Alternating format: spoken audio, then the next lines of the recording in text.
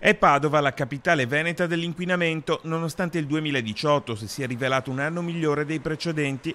A guidare la classifica veneta c'è la centralina di Granze, non solo condivide con quella di Via Tagliamento a Venezia il primato di 63 giorni oltre il limite consentito di PM10, ma si piazza al primo posto per concentrazione media annuale con 37 microgrammi al metro cubo di PM10.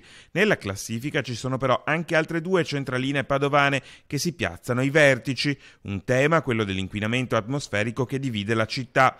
Nelle ultime ore ad intervenire nel dibattito è stata la Confesercenti che ha sottolineato come l'obiettivo sia la pedonalizzazione, a patto che sia accompagnata da servizi alla clientela. Per quanto riguarda la demonizzazione delle auto, hanno sottolineato i rappresentanti dei commercianti, è giusto ricordare che l'alta percentuale di polvere sottili connesse al traffico su strada non dipende solo dai gas di scarico dei veicoli.